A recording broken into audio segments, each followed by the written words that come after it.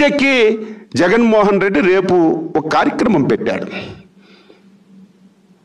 Jai Ho BC అని. ఒరే బడుద్దా ఇల్లారా? కనీసం బీసీలకి ఏమీ చెయ్యకపోయినా సరే పేరు కూడా సోయానా పెట్టుకోలేనటువంటి దౌర్భాగ్య స్థితిలో మీరున్నారు. జైహో బీసీ ఎవరిది? రెండు వేల పద్దెనిమిదిలో చంద్రబాబు నాయుడు ముఖ్యమంత్రిగా ఉండేటప్పుడు నేను బీసీ మంత్రిగా ఉండేటప్పుడు రాజమండ్రిలో జైహో బీసీ అని చెప్పి మేము పెట్టాము ఇది. ఇది మా పేటెంట్ హక్కు. కనీసం పేరు కూడా పెట్టుకోలేనటువంటి దౌర్భాగ్య స్థితిలో మీరుండి బీసీలకి ఉద్ధరిస్తున్నామని చెప్పి రేపు సభ పెడుతున్నారట. డెబ్భై వేల మందికి బస్సులు వేసి డబ్బులు ఇచ్చి భోజనాలు పెట్టి తీసుకొస్తామంట. దేనికి నీ సభ? నిన్న మీరు చూశారు కదా సభ? రాయలసీమ గర్జన. పది రోజులు మంత్రులందరూ అక్కడే ఉన్నారు. విపరీతం డబ్బులు ఖర్చు పెట్టారు. కానీ అట్టర ఫ్లాప్ అయింది. రేపు కూడా నువ్వు బలవంతాన్ని తీసుకొస్తున్నావు. దేనికి? అంత కష్టం ఎందుకు పెట్టాలి? చంద్రబాబు ఉండేటప్పుడు బలహీన వర్గాలకు ఒక పండగ ఒక ఆనందం. ఎవరైనా చదువుకోవాలంటే విదేశాలకు వెళ్ళడానికి విద్యా దీవెన పెట్టాం. ఎవరైనా పేదవాళ్ళు పెళ్ళి చేసుకుంటామంటే పెళ్ళికి డబ్బులు ఇచ్చాం. ఎవరైనా సరే ఐఏఎస్ ఐపీఎస్ కోచింగ్లకి వారికి కావలసినటువంటి ఖర్చుల గురించి స్టడీ సర్కిల్స్ పెట్టాం. ఒకటా రెండా ఎవరైనా సరే బీసీలు ఎక్కువ మంది బీసీలే చనిపోతున్నారు యాక్సిడెంట్లో కానీ సాధారణంగా కానీ వారికి చంద్రన్న బీమా పెట్టాం. అది కూడా ఎత్తేసాం. ఒకటా రెండా పథకాలన్నీ కూడా పూర్తిగా ఎత్తేసి ఈరోజు నువ్వు బీసీల మీద కపట ప్రేమని ఈరోజు చేస్తుంటే ఎవరు నమ్మే పరిస్థితి లేదు. ఈరోజు బీసీలుగా మేము పుట్టాం. మాకు వాక్ చాతుర్యం ఉంది. ఈ ప్రభుత్వం చేసినటువంటి తప్పుల్ని మేము మాట్లాడితే మా మీద తప్పుడు కేసులు పెడతావా? నువ్వు చేసినటువంటి అరాచకాలు ఎదిరిస్తే మమ్మల్ని చంపేస్తావా? ఇరవై ఆరు మంది బలహీన వర్గాలని నడి రోడ్డు మీద కళ్ళకు కనిపించినట్టుగా చంపిస్తే అతీగతి లేదు. ఈరోజు దాదాపుగా చాలా మంది మీద ఈరోజు తప్పుడు కేసులు పెట్టారు. నన్ను అరెస్ట్ చేశారు. రవీంద్రను అరెస్ట్ చేశారు. నిన్న లేదు మొన్న అయ్యన్న పాత్రను అరెస్ట్ చేశారు. కళా వెంకట్రావును అరెస్ట్ చేశారు. మేమేం తప్పు చేశాం? బలహీన వర్గాల్లో పుట్టడమే మేము చేసిన తప్ప నువ్వు చేసినటువంటి తప్పులు ఎత్తి చూపడమే మేము తప్ప ఈ పార్టీకి నాయకత్వం వహించడమే మేము చెప్ప ఇంత కక్ష నీకెందుకు? నువ్వు ఒకవేళ బలహీన వర్గాల అభిమానం పొందాలంటే ఒక మంచి పనులు చేయి నాలుగు. ఒక నాలుగు కార్యక్రమాలు చేయి. కానీ ఏమీ చేయకుండా బలహీన వర్గాలు మాట్లాడకూడదు.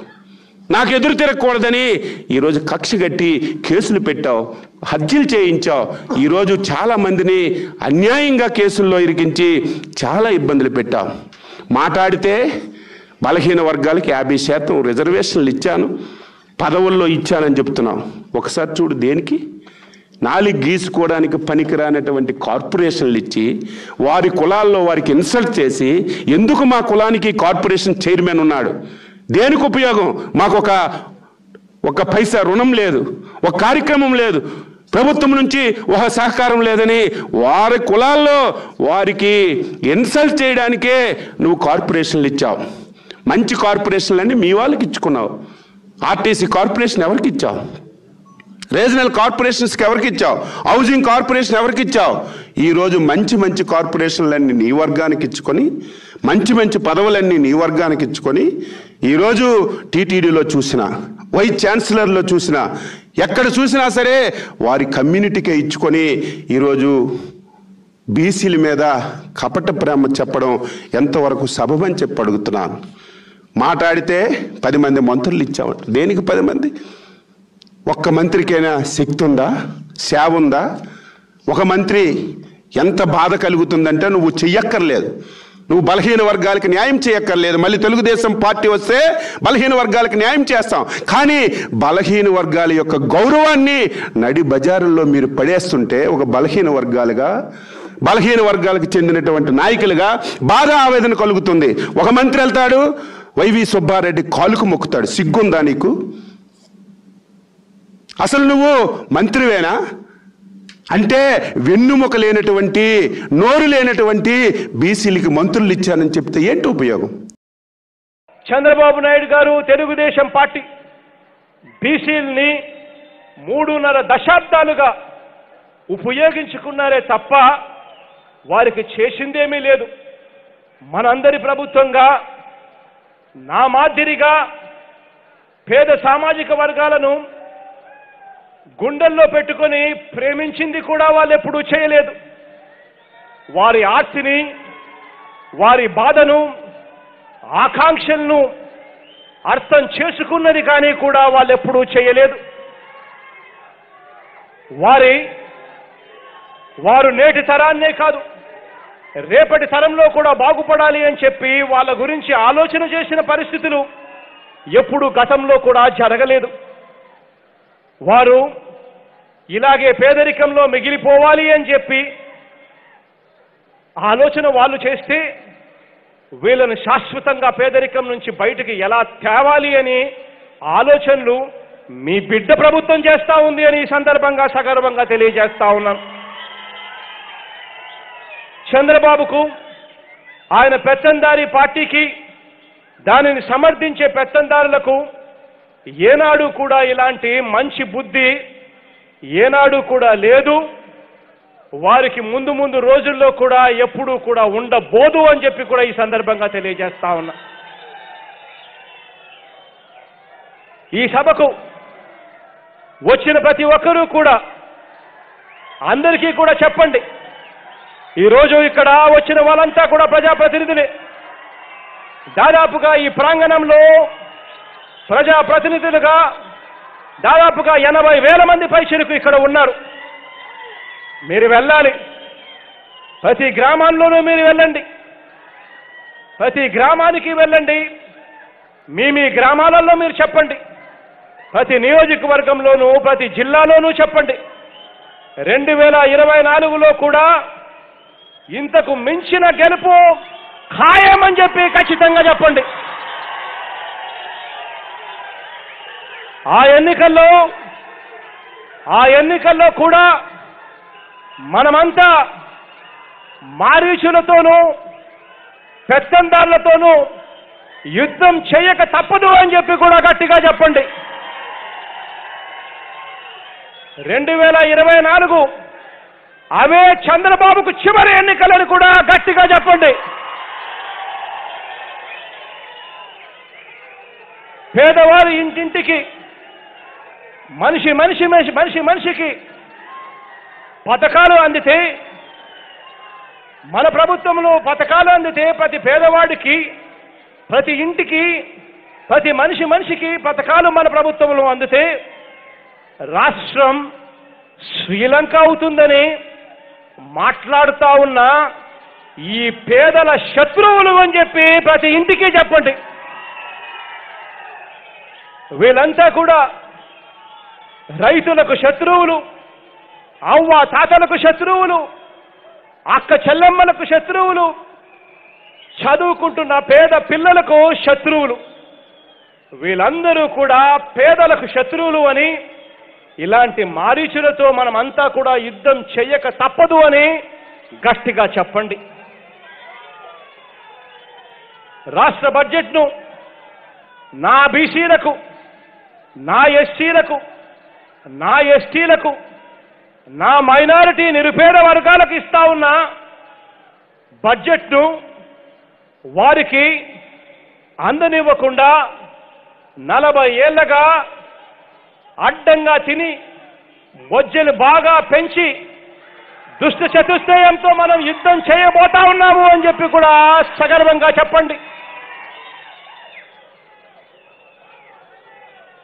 తమ పేరు చెబితే చంద్రబాబు పేరు చెబితే తన పేరు చెబితే ఏ ఒక్క సంక్షేమ పథకం కూడా పేదలకు గుర్తుకు రాని ఆ చంద్రబాబును ఆయన ఎల్లో మీడియాతోనూ ఆయన దత్తపుత్రుడితోనూ మూడున్నర సంవత్సరాలలో ఇన్ని విప్లవాత్మక సంక్షేమ పథకాలు ఇంత డీబీటీ ఇచ్చిన మనం యుద్ధం చేస్తున్నాము అని చెప్పి కూడా ప్రతి ఇంట్లోనూ చెప్పండి.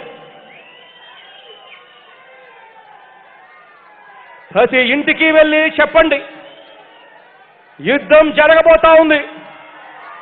మరో పద్దెనిమిది నెలల్లో యుద్ధం జరగబోతా ఉంది. ఈ యుద్ధం మంచికి చెడుకు మధ్య యుద్ధం జరగబోతా ఉందని చెప్పండి. ఈ యుద్ధం నిజాయితీకి వెన్నుపోటుకు మధ్య యుద్ధం జరగబోతా ఉందని చెప్పండి. ఈ యుద్ధం మాట మీద నిలబడే నాయకత్వానికి ప్రజలకు వెన్నుపోటు పొడిచే మనస్తత్వానికి మధ్య యుద్ధం జరగబోతా ఉందని చెప్పండి. ఈ యుద్ధం సామాజిక న్యాయానికి సామాజిక అన్యాయానికి మధ్య యుద్ధం జరగబోతా ఉందని చెప్పండి. ఈ యుద్ధం పేదల భవిష్యత్తుకు పేదవాళ్ళు పేదవాళ్ళగానే మిగిలిపోతా మిగిలిపోవాలి అని తాపత్రయపడే పెత్తందాళ్ళకు మధ్య ఈ యుద్ధం జరగబోతా ఉంది అని చెప్పండి.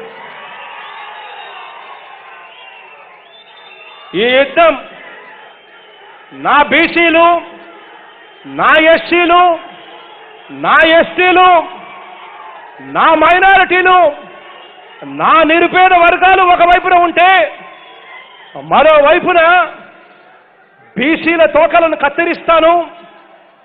ఎస్సీ కులాలలో ఎవరైనా పుట్టాలనుకుంటారా?